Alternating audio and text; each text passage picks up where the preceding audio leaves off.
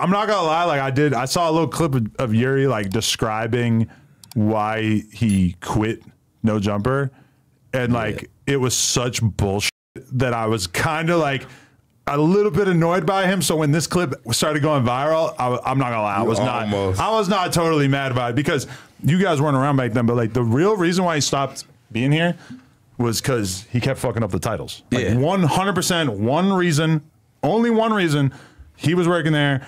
I would send an email with all the titles. I do a Brick Baby interview. Boom. Here's the here's the full Brick Baby title, and here's ten titles.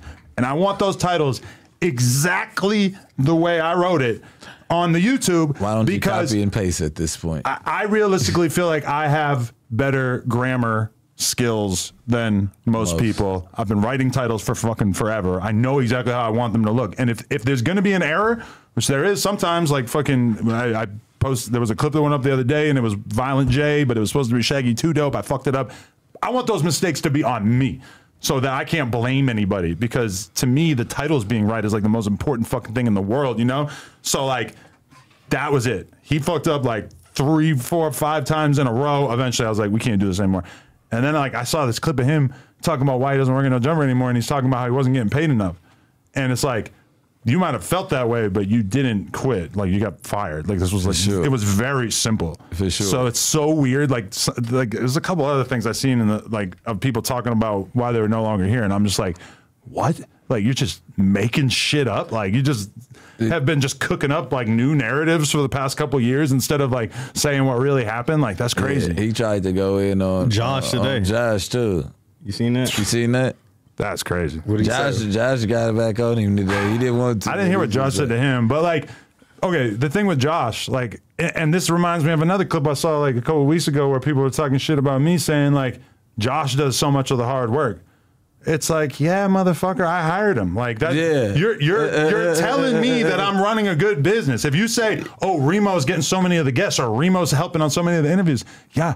Thank you. I fucking found somebody really good and I hired them. Like Josh, Yeah. in, in, no jumper before Josh was a fucking shit show. Like from a business perspective, from a content perspective, from like a, us doing an interview and then getting it out perspective. Like I hired Josh literally because we did an escape room together. You ever do an escape room? It's like a, they lock you in a fucking room. I gotta figure it out. And you have to solve all these puzzles Right. to get out of the room. Yeah. I myself have very, very bad problem solving skills. Mm-hmm. Like when you're in Zelda and you're trying to get out of the dungeon. Right. I quit. I, quit. The I gotta look it up. I don't know. I look it up. I have no. Fu- it's impossible. I can't do it. I quit. Yeah. Josh was killing this fucking escape room.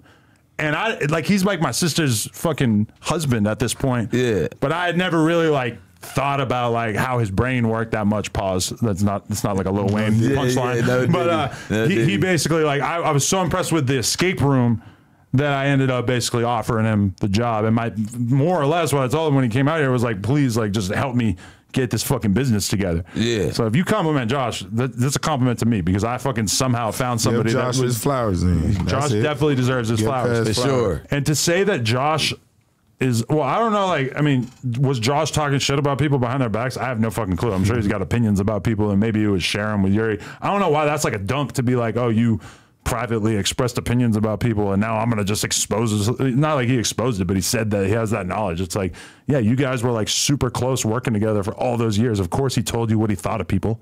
Yeah. I'm not like challenging him to reveal those things, Yeah. but like that's not surprising to me. Yeah, and it's like, man, that's life. You talk about people talk like people talk about Josh behind his back. So Right. the, the same person that you gonna say like, oh yeah, if they were, if the vibe was.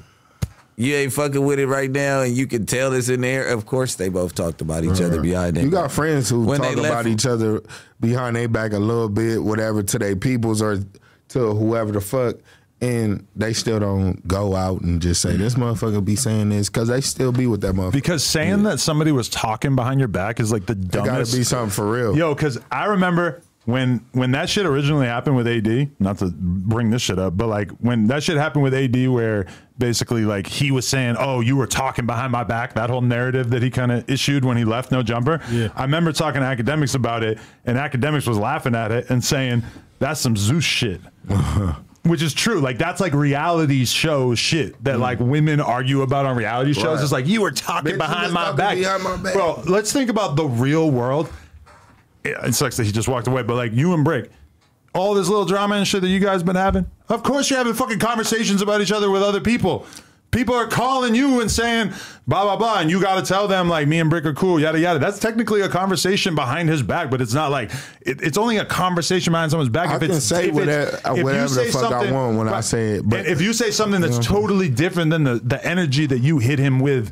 When you guys are talking face to face, Right, then you're fucked up. Right, right. But if you go tell somebody something behind their back that you also are communicating to them to their face, mm. that is not talking behind their Right, back. right. Like my friends, if I say anything about them, I say it to their face too. Right. They know I feel like this. If I feel like one of the homies ain't coming to work or do whatever, I'm like, cuz a lazy bitch. You feel me? That's something I tell him to his face though.